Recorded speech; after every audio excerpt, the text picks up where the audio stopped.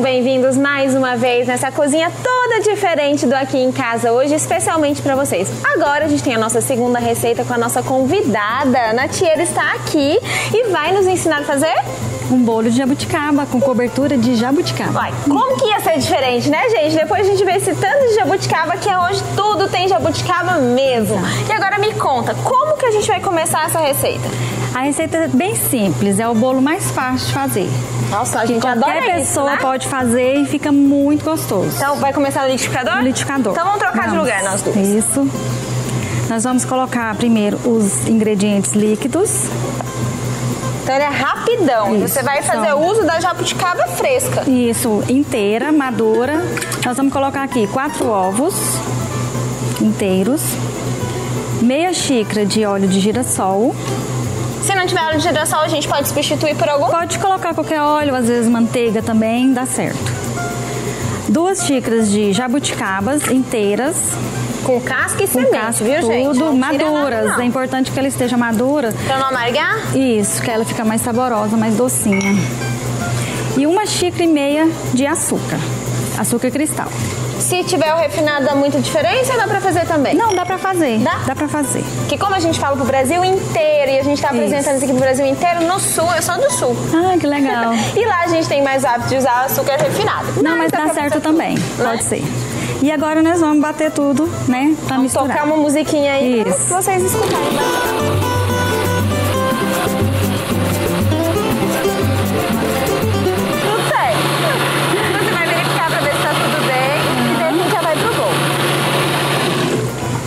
Deixa bater mais ou menos uns dois a três minutinhos, rapidinho. Depois que tá tudo misturadinho, você pega um bol. Aí você vai adicionar a farinha. Ah, você coloca primeiro a farinha e depois vem com Isso, a farinha de trigo na mão mesmo. São duas xícaras de farinha de trigo.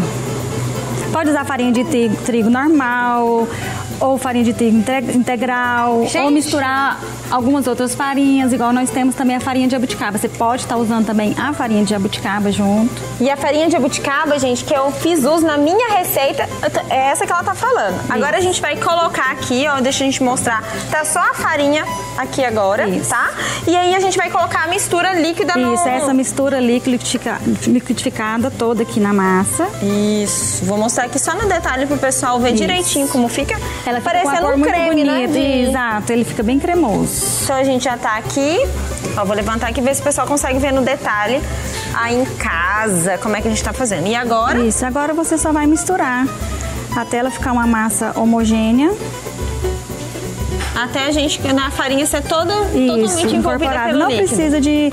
Quando você perceber que a farinha já ficou toda incorporada ao líquido, você pode parar de mexer. E conta um pouquinho mais sobre a sua farinha de jabuticaba, para o pessoal saber como que ela é feita, quais são as propriedades que ela oferece. Então, nessa safra agora, de 2019, nós, ah, nós estamos lançando alguns produtos de jabuticaba. No coração da Fazenda Jabuticabal nasce a Iapoti Sabores da Terra. Que Iapoti significa? É, jabuticaba em tupi-guarani, jab- iapoticaba. Porque os índios tupis, eles falavam iapoticaba, que é o fruto que brota do caule da árvore, né? Porque ela dá o botãozinho. Aham. Então eles falavam iapoticaba. Então, como aqui, né, nós estamos aqui na maior fazenda de jabuticaba, de, de jabuticabas no mundo, então nada mais sugestivo que colocar o nome, né, de O de- e a origem mesmo, Isso. né? Que bacana. E essa farinha tem alguma propriedade diferente que o pessoal em Sim. casa pode se interessar em adquirir? em Porque a jabuticaba, ela é conhecida como uma fruta ideal. Das frutas vermelhas, ela é que tem mais concentração de vitaminas, de, né, de vitaminas, que tem, ela tem, ela é pequenininha no tamanho, mas ela é poderosa na Ela é sua potente, né? é, Nos seus nutrientes. Isso, exatamente. Então, como ela é uma fruta sazonal, então é só nessa época, né? Uma vez por ano. Então é uma forma da gente estar levando os benefícios e o sabor, né? Para o Brasil todo e até para quem quiser usufruir dos benefícios do sabor da jabuticaba. Porque além da farinha, a gente também tem o extrato de jabuticaba, a gente faz geleia, tem doce da casca, sorvete, picolé, Aí a enfim, é uma infinidade. toda uma gama de Sim. produtos feitos com as jabuticabas Sim, daqui. exatamente. E vale a pena lembrar que todas as jabuticabas que vocês usam são dessa fazenda. Sim, são todas E elas são todas sem- são orgânicas. São orgânicas. Sem zero, Zero. agrotóxico, E os gente. nossos produtos também, a gente não usa conservante, a gente não usa corante, a gente não usa essência. Então, assim, é, é o mais natural possível. Então, é para agradar se você e para atender a todos. saúde, né? Exatamente. O nosso lema é bem-estar e saúde, Ai, em primeiro lugar. Que coisa boa. Então, a Então, gente tem aqui, já várias tá pessoas quase bom. olhando, assistindo a gente no Brasil inteiro e que buscam, né, esse bem-estar, em saber como que eles podem se cuidar melhor. Sim. E aí a Poti tá aí com seus produtos justamente para isso. Exatamente. E agora a gente vai, já tá pronto? Já tá, Tá, no... aqui, ó, já tá todo misturadinho, tá vendo? Isso, vamos mostrar aqui pro pessoal ver. Já incorporou a farinha ao líquido, nós vamos colocar na forma. Aliás, para ficar mais gostoso, nós vamos acrescentar aqui o doce da casca. Ah, que Tá delícia. Aí você acrescenta alguns, meia xícara do gente, doce vai na... ficar uma maravilha esse bolo. Vai, pode pôr um pouquinho da calda.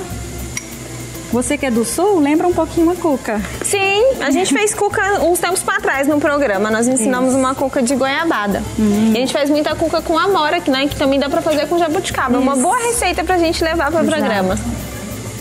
Pronto, aqui a gente vai colocar numa... E esse aqui, a gente põe fermento? Sim, a gente põe esque- fermento. Eu faço essa aqui, gente. Toda vez eu esqueço uma coisa, tá, tá normal. É, e eu não sou, tô estreando, né?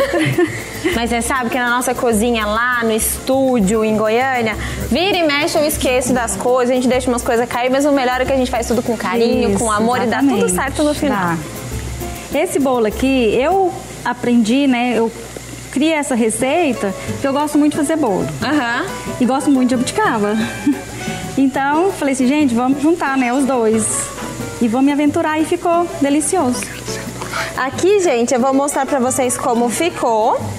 E agora que a gente vai colocar na forma, a gente vai chamar a Marina pra poder relembrar todos os ingredientes pra vocês, pra vocês anotarem essa receita. Já tô chegando tudo certo em aqui. casa. Oi, tudo bem? que Tudo bem, receita Marina? maravilhosa, hein? Obrigada. gente, não poderia ser diferente, né, Tati? A gente aqui na Fazenda Jabuticabal, essa maravilha toda, pra finalizar com uma receita doce dessa, né? mais Saudável e linda, né? mais jabuticaba. E você que tá anotando tudo, todos os ingredientes, também temos agora na tela os ingredientes para você anotar tudo direitinho, daquele jeito que a gente gosta de fazer, para que você faça esse bolo aí na sua casa. Então a gente vai colocar na tela para você anotar as quantidades, os ingredientes, tudo certinho. Lembrando que se você não conseguir anotar, não tem problema, depois ela vai estar lá no nosso portal paieterno.com. Falando nisso, hein, como é que estão as participações de vocês? Quero saber, viu? Participe, use a hashtag aqui em casa, hashtag TV Pai Eterno. Fez a receita? Tira a foto aí, coloca a hashtag lá, marca a gente que a gente quer muito saber como é que ficou, viu? Então vamos anotar ingredientes? Pode anotar aí que eu vou falar todos agora pra você. Olha, o bolo de jabuticaba leva quatro ovos, meia xícara de óleo de girassol, duas xícaras de jabuticabas inteiras maduras, uma xícara e meia de açúcar cristal, duas xícaras de farinha de trigo, meia xícara de doce de casca de jabuticaba, uma colher de sopa de fermento em pó.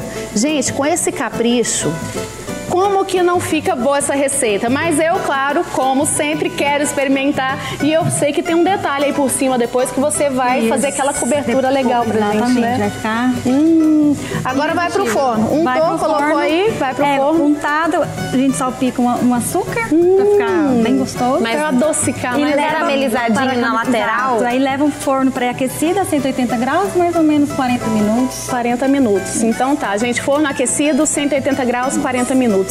Pode colocar lá e a gente já faz a última etapa, né, Tati? Sim, a gente vai aqui como mágica. E você É vai querer tudo- experimentar hoje? Ah, mas eu? é claro, eu tô aqui. Hoje é meu dia de experimentar também. Eu sei disso, viu, Tati Mendes? Com esse tanto de jabuticaba, gente, o que a gente já comeu de jabuticaba aqui? não Ai, tá que delícia. escrito no gibi, Mas como gente. diz Paulinho, tem jeito de enjoar de jabuticaba? Não tem, não. Não tem jeito, gente. Quanto mais você chupa, mais você quer. É e agora a gente mesmo. pode mostrar como finaliza Sim, esse bolo? podemos. Após 40 minutos, ele sai assim, deixa eu tirar daqui pra gente mostrar.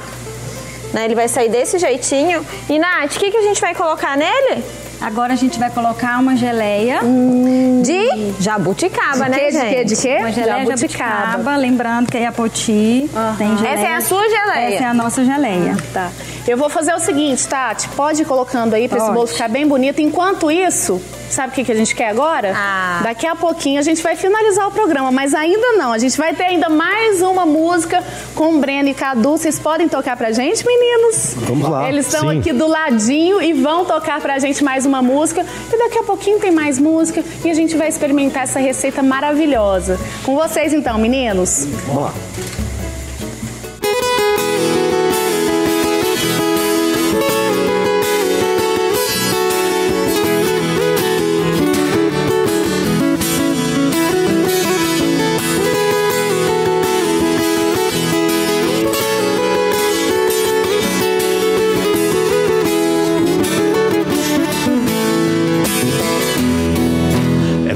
Carro está rugindo, parecendo fera. Voando baixo em Campinas, na Via Anguera.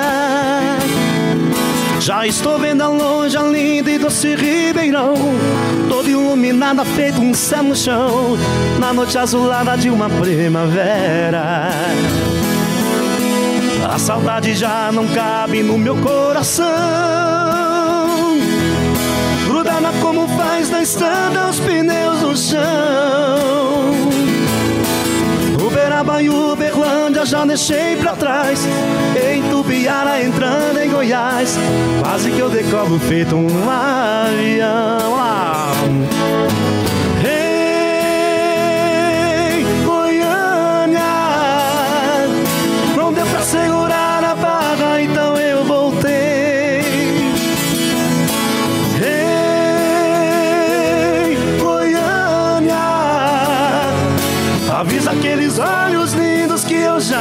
já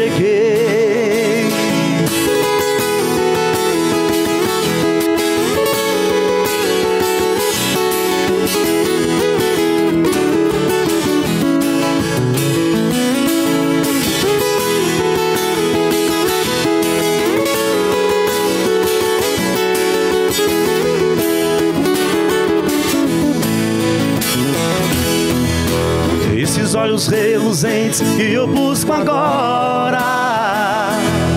Se me chamam com desejo, pra mim não tem hora. É por isso que eu ando em alta rotação Feito um asteroide na escuridão. O motor do carro parece que chora. O sol agora está nascendo, está chegando o dia. Sei que valeu Eu quero estar nos braços dela daqui a pouquinho. Pois passei a noite voando sozinho. Dentro desse carro pela rodovia.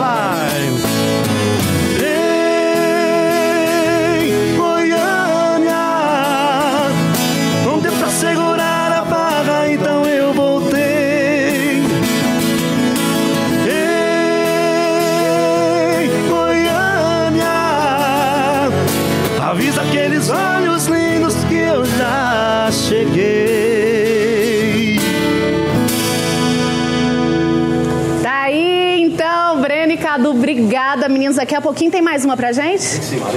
Então tá bom, combinado. E agora a gente vai finalizar esse bolo maravilhoso. Gente, como tá bonito isso, hein? Olha como tá brilhante e maravilhoso. Nossa, Quero calda saber. não tem pouco não, tem muita É, não pode calda. ter economia, tem que ser. Olha, a gente queria muito te agradecer. Eu e falar em agradecimento, a gente quer agradecer a Deus, né? Que sempre Claro. aqui em casa a gente tem essa preocupação e essa lembrança de agradecer nosso alimento, a Exato. oportunidade que a gente tem de fazer uma receita bonita, gostosa, ensinar as pessoas, né, Tati? E É a gente te- trouxe até a nossa frase aqui, que sempre tá na nossa geladeira lá em casa, viu? A gente trouxe pra cá pra estar junto com a gente pra esse momento especial também, né, Tati? Isso, Marina. Todos os dias a gente tem a nossa frase na nossa geladeira. E hoje a gente trouxe na mala aqui com a gente pra fazenda, justamente pra gente rezar um pouquinho com vocês e pra refletir também. Então, do Senhor é a terra e de tudo que nela existe, o mundo e os que nele vivem. Então, nós todos pertencemos à terra e nós todos, todos fazemos parte disso tudo, né? Então, vamos aqui agradecer mais uma vez esse alimento maravilhoso e obrigada, né, pela oportunidade de conhecer gente novas, de poder tirar um fruto da árvore e da árvore direto para a panela para a gente poder degustar. É um agradecimento muito especial a vocês que receberam a gente tão bem. O Paulinho, né, que acompanhou a gente nesse pomar maravilhoso, né? E assim, a gente fica muito grato porque foi um dia muito especial. Eu acho que a gente conseguiu passar isso para todos também. A gente agradece toda a nossa equipe. Gente, quanta gente ficou mobilizado para fazer tudo isso aqui para vocês. Os nossos queridos músicos, a nossa equipe, cinegrafistas, diretor, produtores, tudo foi tão lindo. E eu tenho certeza que a gente conseguiu passar esse carinho para todo mundo lá, né? Sem dúvida. E eu queria pedir um agradecimento especial para minha equipe da cozinha, que preparou tudo lá em Goiânia, para trazer para cá e também está aqui na cozinha da fazenda, dando aquele apoio como sempre. Rafita e Lorena hoje, muito obrigada. Eu só queria falar uma coisa, em nome da Fazenda Jabuticabal, Vinícola Jabuticabal e Iapoti Sabores da Terra, nós agradecemos a oportunidade, né, de poder levar um pouco da nossa terra, como você mesma na nossa oração, né, que Deus é, ele é a terra, ele é tudo que existe. Então, muito obrigada a todos.